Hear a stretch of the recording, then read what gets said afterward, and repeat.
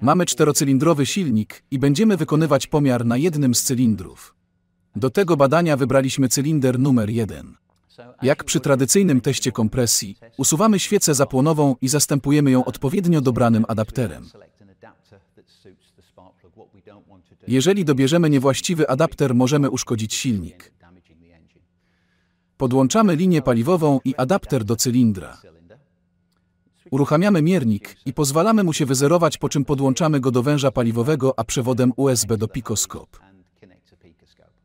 Na wykresie, który pojawia się na ekranie komputera, widzimy, jak następują kolejne fazy cyklu pracy cylindra. Widzimy tutaj SUW wydechu, następnie SUW ssania z wytwarzanym podciśnieniem. SUW sprężania powoduje wzrost ciśnienia, a po nim następuje SUW rozprężania, co finalizuje kompletny cykl.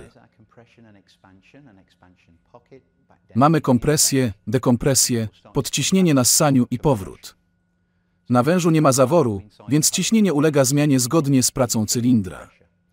Teraz obejrzymy, jak to wygląda w cylindrze z usterką. Na obrazku z prawej strony zawór wylotowy otwiera się poprawnie, natomiast z lewej strony zawór się prawie nie otwiera. Spójrzmy jeszcze raz.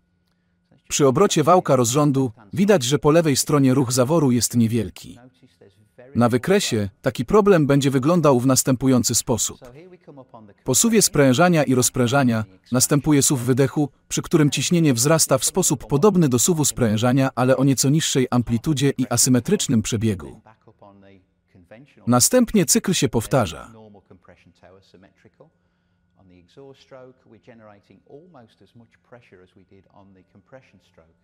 Jasnym jest, że mamy blokadę na suwie wydechu, która uniemożliwia wypchnięcia gazu i powoduje wzrost ciśnienia. Na tym przykładzie widzimy wyjątkowo zanieczyszczony filtr powietrza, który sprawia, że nie możemy zassać odpowiedniej ilości powietrza. Tym samym nie możemy też doprowadzić do poprawnego sprężenia. Na wykresie widać, że SUW sprężania nie osiąga poprawnej amplitudy, natomiast SUW ssania generuje większe podciśnienie, próbując wciągnąć powietrze z ograniczonego dopływu.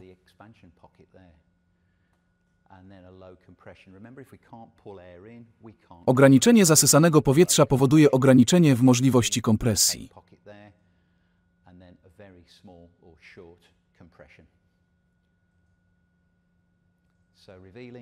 Jak widzisz, przeprowadzenie tego badania pozwala na określenie, który element cylindra powinien nas interesować, zanim zaczniemy rozbierać go na części. diagnosis before dismantling.